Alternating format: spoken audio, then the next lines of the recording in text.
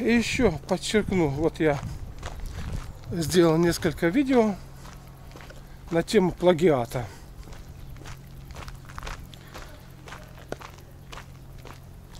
У каждого человека, у каждого человека постоянно возникают такие ситуации. Почему они возникают? Потому что человека толкают вперед, чтобы он сам себя совершенствовал. А для этого, для этого надо его поставить такое в неудобное положение, чтобы он как-то задумался, что, что, как делать.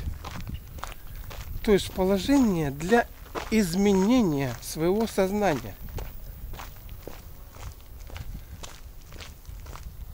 Благодаря, благодаря этому идет рост, наработка духовной мощи на основе уверенности, не подавления, а именно уверенности.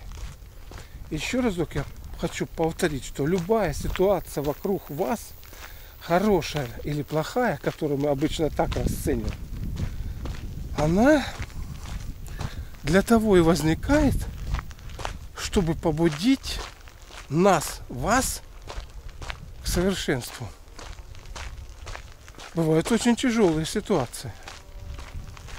И во всем этом разобраться крайне непросто. И вот как раз вот подвернулся очередной момент моей такой трансформации. Даже будем говорить не столько трансформации, сколько проверки. Доброе здоровье. Сколько проверки. Насколько ты там устоялся, насколько ты прошел эти уроки. Понимаете? Одно дело, тебе даются уроки, которые ты учишь, проходишь.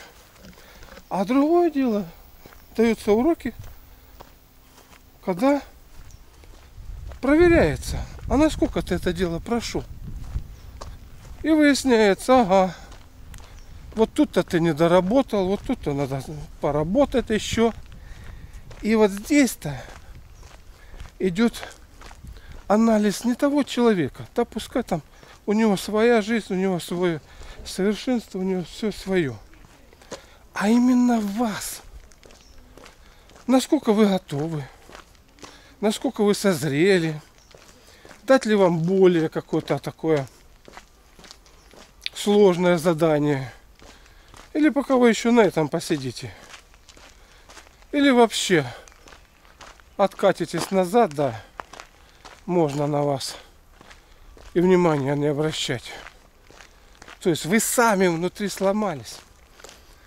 Для того, чтобы выковался внутренний стержень у человека, именно вот эти вот удары молотом идут. Дун, И вы с этим работаете. Вспоминаете, что было, какой вы есть. Хороший там, плохой там. Опять-таки, вот не хороший, не плохой. Что вы просто вот, вот это вот на данный период ситуация, понимаете, вот так – а когда она, допустим, будет пройдена, вас хорошенько молото этим порихтовали, вы там подумали, ага, вы стали по-другому к этому относиться. В результате, в результате возрастает, ну, в первую очередь, смиренное принятие этой ситуации. Далее, прохождение ее –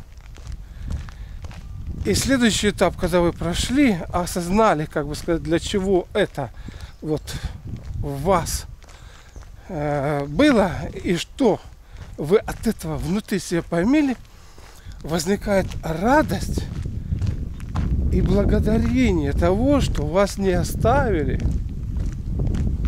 а с вами еще работают. Вот это уже совершенно иное. Совершенно иное.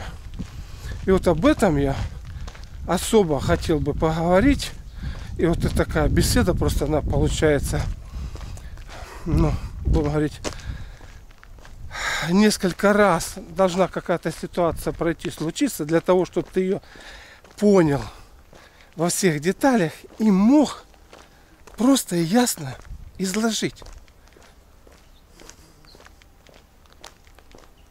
Не искать виноватого, не кого-то там винить, осуждать, а тем более с кем-то там бороться. Вот он мир. В нем все есть, все лежит, понимаете? Ну все лежит, вот, вот как бы сказать, подходи и бери. Но большинство и взять не могут то, что тут лежит. Не могут сделать дважды два четыре. Ну что, у нас 61 идет, чернушка работает, а речка течет, все как положено. Благодарю за просмотр. Если вам понравилось видео, ставьте лайк, звоните в колокольчик и подпишитесь на канал. Ваше участие развивает канал и способствует его продвижению. Вы можете посетить бесплатно мою авторскую библиотеку на сайте Малахов. Доброго здоровья и до новых встреч!